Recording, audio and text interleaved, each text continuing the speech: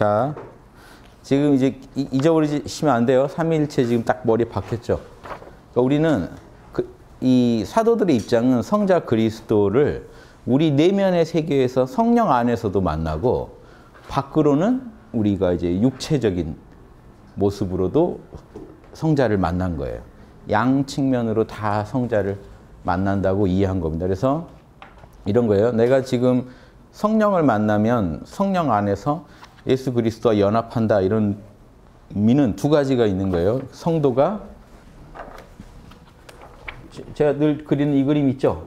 자, 우리 에고가 성도의 마음 아니니까 성도의 에고가 우리 안에 있는 성령을 만난다. 예, 믿음을 통해 의심 없는 믿음을 통해 만난다. 그래서 이 자리에서 우리에게 평안을 주고 또 우리에게 진리를 준다. 이 정도만 이해하셔도 됩니다. 다만 이거를 좀 확대해 보면 이 성령 안에 성령이 있고 예, 성부 하느님이 계시고 예, 성자의 진리가 있고 또 이, 이것에 어떤 작용으로서 성령이 계시다. 이 정도 이해, 이걸 한 그림으로 이해하시면 뭐 더할 나위가 없는 거죠.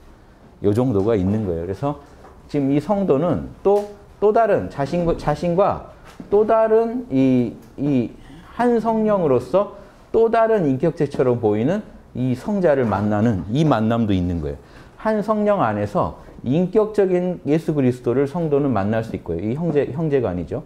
만날 수 있고 자신의 내면에서 또 예수 그리스도의 진리를 만나는 거예요.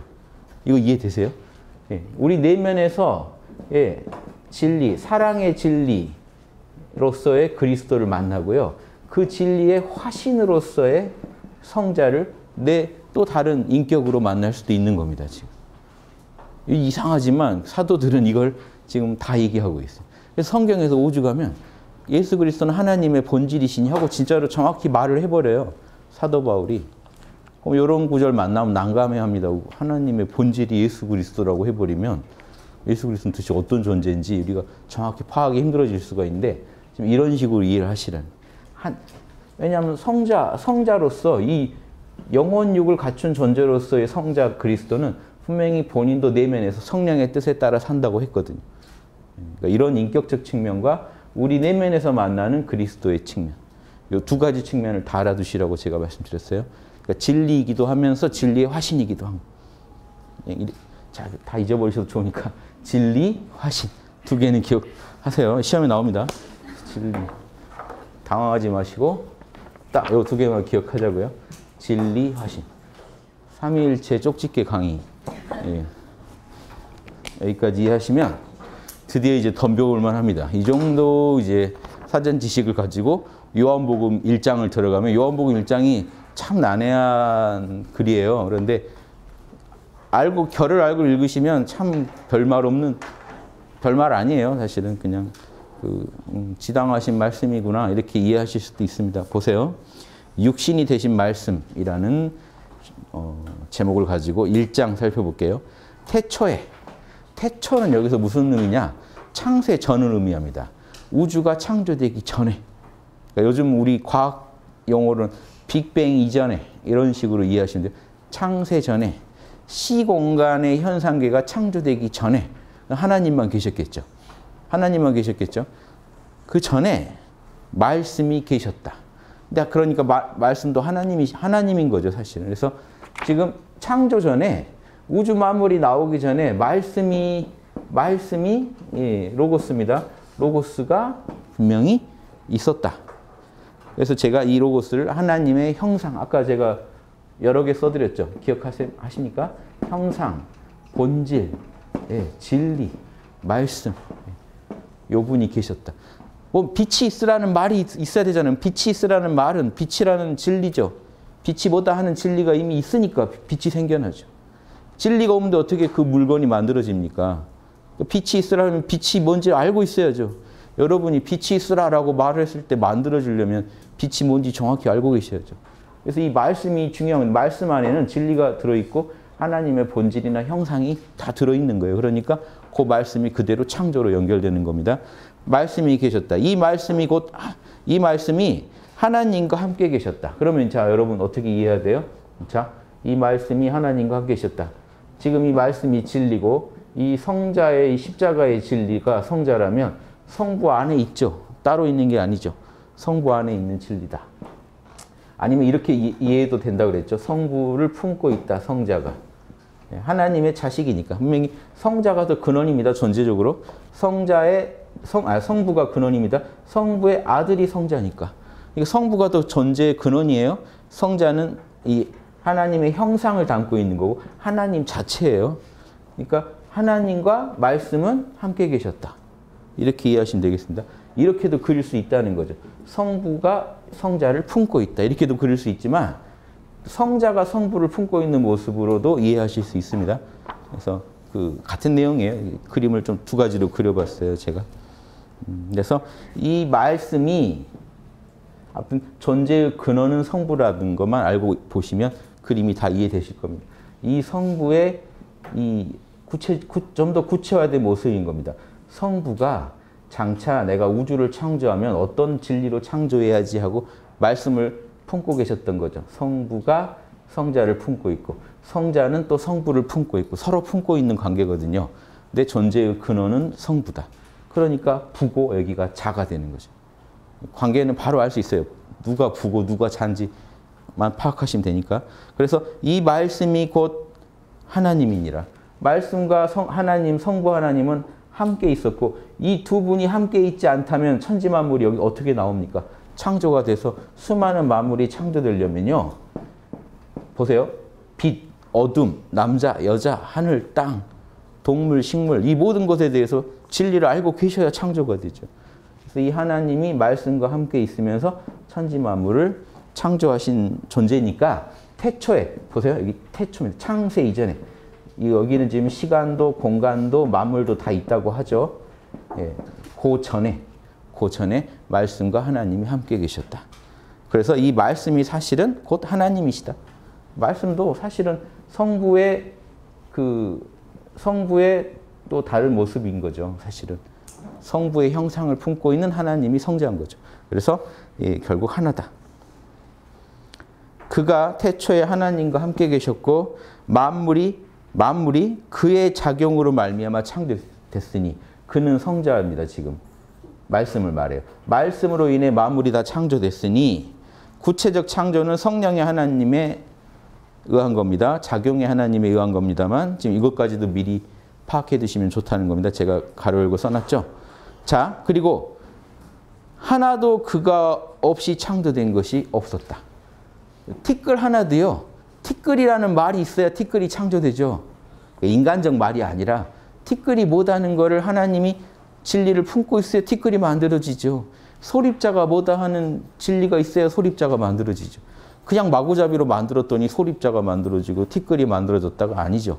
그래서 자, 이 말씀 없이 창조된 건 하나도 없다. 지금 여기까지 다 지당한 말들의 그 나열 아닌가요? 그렇죠? 이 어떤 입장이라는 걸 알고 나면 그들의 세계관을 알고 나면요. 하는 말은 다 지당한 말들이 그 세계관 안에서는 지당한 말들입니다. 그래서 하나도 그거 없이 창조된 것이 없었다. 근데 제가 여기서 사도 요한이 이런 논리로 시작할 때 무슨 말을 더 하고 싶어서 시작부터 이런 말을 꺼냈는가? 예수 그리스도의 정확한 이상. 첫째는 이거죠. 우리가 그 옆 동네 살던 그 양반 늘 같이 밥 먹고 그랬던 그 양반이 사실은 이렇게 하나님급의 우주 창조의 원리였고 그분이 없이는 천지 만물이 창조가 안 되는 그런 위대한 존재였어. 이렇게 말을 꺼내는 겁니다. 실감 안 나시겠죠? 아, 그, 그, 그, 그 사람이 그럴 리가. 여러분, 옆집에 사는 누구를 제가 진지하게 그 옆집 아저씨가요. 하나님과 함께 계셔서 우주를 창조하셨던 분이에요. 지금 거의 이 정도 얘기를 하는 거예요. 충격적이죠. 그러니까 지금 당시 그리스에서 로고스를 로고스 이 원리는 비슷하지만 이 원리대로 로고스를 숭, 숭앙하던 철학자들한테 희랍 철학자들한테 로고스를 찾는 게 철학인데 우주의 그 시공을 초월한 로고스를 찾고 있는 사람들한테 여기 지금 시공 초월한 세계예요. 태창 태초라는 건 시공 없는 그 세계를 말해요. 그 세계의 로고스를 찾고 있는데 그럼 사도 바울이 저기 아테네 가가지고 연설했잖아요. 철학자들한테. 철학자들 뻥 쩌지 않았겠어요, 여러분? 시공 초월한 로고스 찾고 있는데 로고스가 저기 이스라엘 쪽에 다녀가셨다고. 로마 니네가 그분을 도, 어, 십자가 처형까지 했다. 뭐 이렇게 얘기를 막 하는 거예요. 그러니까 그그 철학자들이 당시 이제 그 로마 철학, 그리스 로마 철학자들이 뻥치죠. 그 정도의 이야기였어요, 지금. 그래서 이 사도 요한도 로고스를 들먹이는 거는 그런 이런 힐랍 철학자들의 로고스 관까지도 지금 어, 다 포섭해서 그리스도의 위상을 확실히 정립하겠다 이겁니다. 그리스도는 그 서양 철학자들이 말하는 그 로고스다. 그 로고스가 하나님의 형상이고 우리 곁에 다녀가셨다. 우리한테 다녀 우리 곁에 다녀가셨다. 그런데 어리석은 백성들이 천지 창조의 그 주인이 와가지고 백성들을 가르쳐 주려고 했는데 그 어두워서 그분을 안 따르다, 따르지 않았다. 이런 얘기를 지금 시작하려는 거예요. 그런데 저는 이 얘기에서 좀 더 읽어낼 부분이 있다고 봐요. 이렇게 지금 창조의 원리를 얘기해 주는 거거든요. 그러면요. 보시면 보세요. 제가 이렇게 써놨습니다. 이러한 창조 행위가 예수 그리스도의 강림에 의해 다시 이루어지고 있다. 창조가 어떤 원리로 되는지 아, 시겠죠 빛이 있으라면 빛이 있, 있, 게 됐다. 이제 그거예요. 간단하게 그건데 성부 하느님이 홀로 우주를 만드는 게 아니라 창조한 게 아니라 성자 하느님, 말씀의 하나님이 계셔야만 천지 만물이 창조되고 구체적으로 창조하는 건 성령 하나님이 하는 거죠. 그러니까 성부 하나님 했다고 해도 돼요. 성부 하나님의 작용이 성령 하나님이니까. 자, 그러니까 하나님이 말씀으로 인해 천지 만물을 다 지었다. 그런데 이게 이 순서가 왜 제가 성령까지 넣어서 정확히 이해해야 되냐, 된다고 말씀드렸냐면 보세요. 이 창조 행위가 예수 그리스도의 강림에 의해서 지금 이 인간계에서 다시 이루어지는 겁니다. 그래서 인간을 재창조하는 원리도 똑같다는 거예요. 그래서 성부 하나님의 본질인 사랑 양심의 진리이신 성자 하나님께서 성령 하나님으로 인해 영혼육이 온전한 하나님의 자녀의 모습으로 인간에 나타난 거예요. 창조가 된 거예요. 자, 새로운 인간이 지금 창조된 겁니다. 성부 하나님의 뜻인 성, 말씀을 온전히 따르는 영혼육의 존재가 성령에 의해서 창조된 거예요. 그게 누구예요? 성령으로 인해 태어나신 분? 예수님이요. 마리아가 성령으로 잉태했다 그러잖아요. 성령으로 태어나신 분이 있어요. 지금 예수님이에요. 그러면 예수님은 성부, 성자, 성령으로 인해서 새롭게 창조된 인간을 상징합니다. 그러니까 그럼 그게 뭐냐? 새로운 인간의 지금 모델이 돼 주신 거예요. 뭐 인간들한테 얘기하는 거예요. 제가 늘 얘기하는 고등 침팬치에서 진화하라. 진화하라. 새로운 인류로 진화하라. 그 진화가 어떻게 보면 창조인 거죠.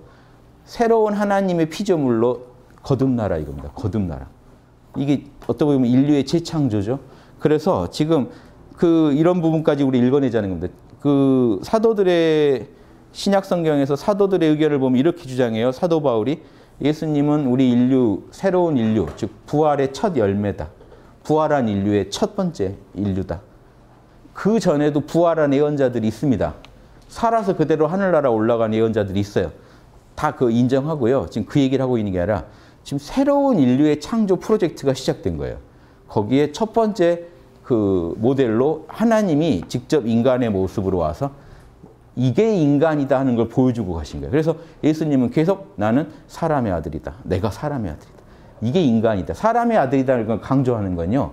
내가 하나님이 아니라 그대들과 똑같은 인간인데 인간들 중에 리더다라는 얘기예요. 그러니까 그 얘기 뭐냐? 다른 인간들한테 나처럼 하라는 겁니다. 내가 리더니까 나를 따르라. 나처럼만 살면 그대들도 하나님의 자녀가 돼서 거듭난 존재, 부활한 존재가 된다. 요거를 말씀해 주시고자 오신 거죠. 그래서 이는 장차 온 인류를 하나님의 형상으로 새롭게 창조하고자 합니다. 지금 고등 침팬치는 하나님의 형상을 안에 품고 있지만 그거를 표현하지는 못해요. 하나님의 형상 그대로 표현하는 인간이 이제 가능하다 하는 것을 지금 보여준 겁니다. 그 첫 열매로서 본인이 오신 거죠. 와서 모델을 보여준 겁니다. 나처럼 하라. 그래서 마지가 돼주신 거고 하나님의 유일한 아들이었다는 얘기는 하나님을 온전히 구현할 수 있는 유일한 인간이 예수님인데 그분이 마지가 돼서 다른 인류들에게 기회를 주셨다는. 길을 열어주셨다. 그러기 위해서는 성자 하나님을 품은 성령 하나님의 권능이 필요하다. 말이 어렵죠. 근데 별 얘기가 아니고 성령 하나님은 이 말씀대로 우리를 창조할 테니까 우리가 지금 이 성령을 받아서 거듭날 수 있으려면 하나님의 형상을 성령 하나님이 하나님의 형상을 지금 품고 있기 때문이잖아요. 그러니까 성자 하나님을 품은 성령 하나님의 권능이 있어야 우리도 거듭날 수 있다는 겁니다. 그래서 성부 하나님을 안에 품은 성자 하나님. 자, 성부를 품은 성자. 성자를 품은 성령이 우리 안에 임한다면 예, 그러면 존재와 진리와 그 권능으로 인해서 성부 하나님의 존재, 성, 성자 하나님의 진리, 성령 하나님의 권능으로 영원히 인류와 함께 이제 그세 삼위일체 하나님이 영원히 인류와 함께 하면서 장차 인류를 영적으로 거듭나게 할 것이고 그리고 거듭난 하나님의 자녀 성도는 성자 하나님을 머리로 삼아서 천국의 천국을 함께 다스릴 수 있는 예, 통치권자가 될 것이다. 요게 이제 하나님의 예수님의 지금 이거는 아주 허황된 얘기가 아닌 게 지금 예수님의 구체적인 그 사역의 내용이요. 천국의 선포입니다. 그리고 본인부터 나는 내 안에선 천국이 이루어졌다는 선포. 그대들도 천국으로 들어가라. 천국에서 살아라. 천국은 눈에 보이는 곳으로 오는 게 아니라 우리 그 영혼에 임하니까 각자의 내면의 영혼에서 예, 천국이 성취돼서 예, 천국의 어, 시민이 되어라. 이런 내용이죠. 그런 내용을 선포, 그 선포하신 내용을 사도들의 입장에서 이런 식으로 해석을 하고 있는 지금 진리가 우리에게 인간의 모습으로 오셔가지고 예, 우리를 진리로 인도해 주시려고 이렇게 오셨고 본인부터 인간의 모습, 인간의 나약한 몸으로 오셨는데도 불구하고 온전한 죄 없는 존재가 되심으로써 다른 인류들에게 길을 열어준 거죠. 나처럼 하면 새로운 인류로 거듭날 수 있다. 그래서 이거를 사도 바울이 새로운 피조물을 뭐라고 하나요? 새 사람이라고 불러요. 새 사람이 됩시다. 하나님의 형상대로 사는 새 사람이 됩시다. 새로운 피조물이 됩시다. 예, 그걸 이해한 거죠. 사도 바울은. 아, 이게 지금 예수 그리스도의 인류 구원 프로젝트구나. 어떻게 보면 재창조 프로젝트구나. 이걸 사도 바울은 새 사람이라는 식으로 얘기했고 지금 요한은 이런 스토리를 얘기함으로써 앞으로 인류가 이제 성령으로 인해서 성부, 성자, 성령 하나님으로 인해서 온전히 어떤 거듭나게 될 것이다 하는 것을 미리 지금 소개를 하고 있는 겁니다. 그 원리를 설명해 준 거예요. 성부가 계시고 성자 하느님이 말씀을 선포하면 성령의 하느님이 뒤따라와서 그걸 현실화시켜요. 그러니까 보세요. 요한복음 스토리가 그렇게 돼 있다니까요. 뒤에 가면 성자 하느님이 내가 가야 성령이 와 그대들에게 성령이 오면 내가 말한 대로 그대들 안에서 이루어 줄 거야. 지금 창조 순서대로 얘기하고 있는 겁니다. 성부 하나님을 늘 품고 성자 하나님을 사셨고 성자 하나님이 가면서 성령이 와서 그대들 안에서 권능으로 역사해 줄 거야. 근데 뭘 하느냐? 어, 그 성령이 성부와 성자의 그런 진리를 가르쳐 줄 거야. 그대들 안에서. 그래서 그대들이 온전히 거듭날 거야. 그게 창조의 사실은 순서라니까요.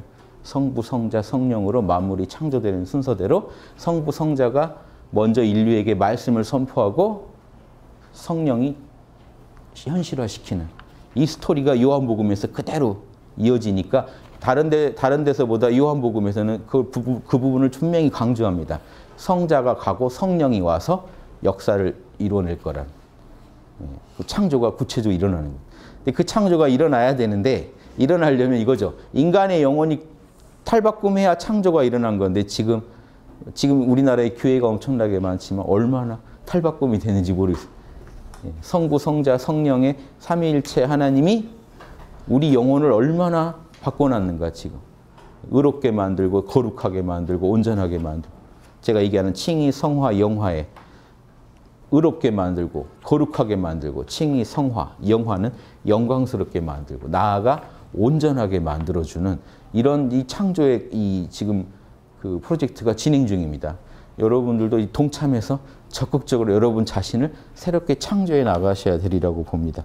이제 이런 내용까지 이해하시면서 이 부분을 읽으시면 좋겠다. 그냥 옛날 창조로만 이해하지 마시라는 지금 이 창조의 역사가 계속 이루어지고 있다.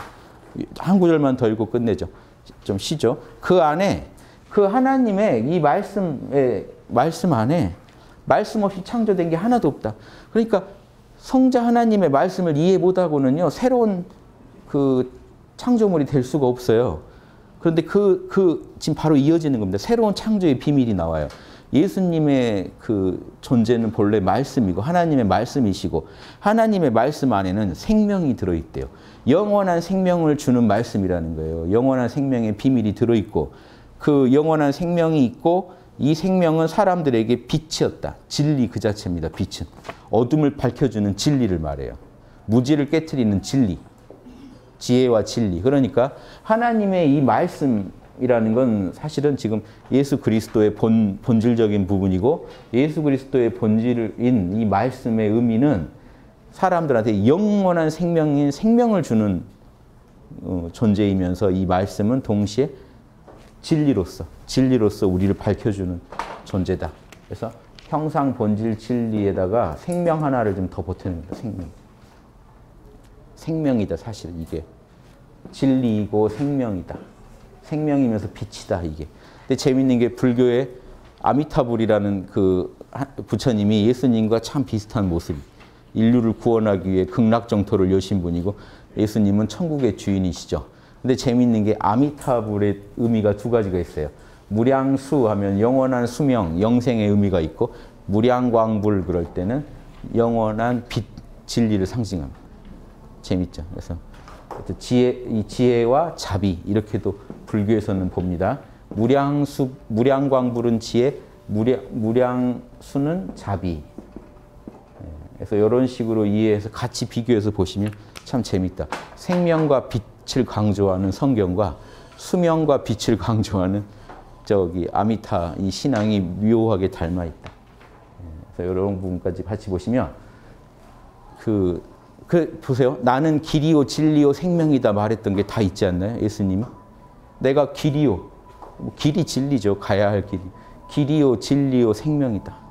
나로 말미암지 않고 너희들은 아버지께 갈 수 없다. 그러니까 지금 그, 그 제자들은 그 말에서 예수님이 진리 그 자체구나라고 안 거예요. 그래서 지금 요한복음 시작을 이렇게 시작한 거예요. 그리스도는 말씀이요, 길이요, 진리요, 생명이셨다 하면서 시작한 그런 분이 우리처럼 피천한 인간의 모습으로 와주셨다. 얼마나 감격스러운 일인가. 우리를 거듭나게 하시려고 그렇게 하신 거다. 진리로 인도하시려고, 영생으로 인도하시려고 그렇게 하신 거다. 이렇게 지금 시작을 하고 있는 그러니까 지금 새로운 창조 역사가 시작된 거예요. 예전 창조의 주인이 다시 인류를 창조하려고 또 오셨다는 거예요. 여기까지 읽어내시면 무리 없죠. 요즘 지금 요한이 여기까지 얘기하고 있는 겁니다. 행간을 잘 읽어내면 그리고 그 그래서 예수님이 길이요 진리요 생명이다. 그래서 영생을 나는 나는 하나님의 이런 진리에 따라 영생을 얻은 존재니 나를 따르면 그대들도 온전히 아버지께 이를 수 있으니 내가 곧 길이요 진리요 생명이다 이렇게 화신의 입장에서 얘기할 수도 있고 그냥 나의 본체가 그대로 진리고 생명이다 이렇게 얘기할 수도 있겠죠. 그래서 사도들의 두 입장을 다 이해해 주시면 좀 더 뭐 더 풍부해지겠죠. 예수님에 대한 이해가 여기까지 지금 어려우신 거 없죠. 여기서 일단락 찍고 또 한 10분 쉬고 다시 시작하겠습니다. 예.